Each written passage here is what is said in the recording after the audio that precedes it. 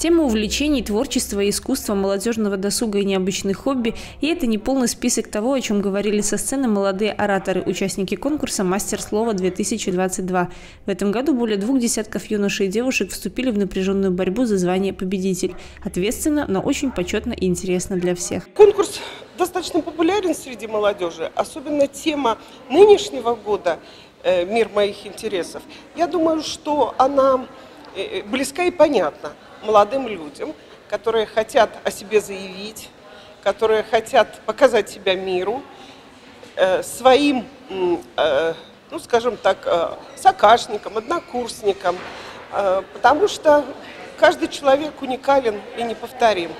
И мир его интересов – это и мир его интересов, и мир интересов тех людей, среди которых он живет. Соответствие содержания публичного выступления теме и степень ее раскрытия, логика и культура речи, грамотность невербального поведения, оригинальность подачи высказывания, умение работать с аудиторией.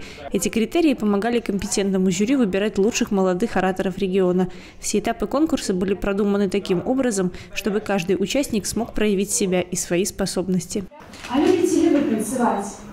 Мне очень хочется, чтобы вы ответили «да». Для меня танцы – это самая большая радость. Мне кажется, я танцевала с детства.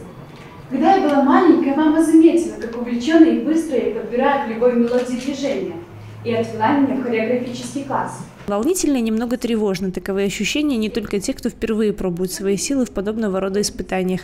Среди участников есть те, кто уже бывал на этой сцене, еще школьником, а сегодня уже сражается за награды в категории «студенты». Вообще, чтобы покорить членов жюри, нужно обладать, конечно, хорошо поставленной речью, но вдобавок иметь какую-то харизму.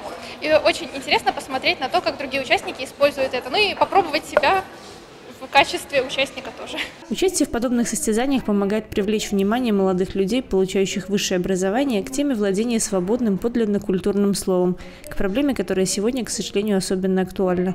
А опыт, полученный во время выступлений, обязательно пригодится будущим специалистам в их профессиональной деятельности.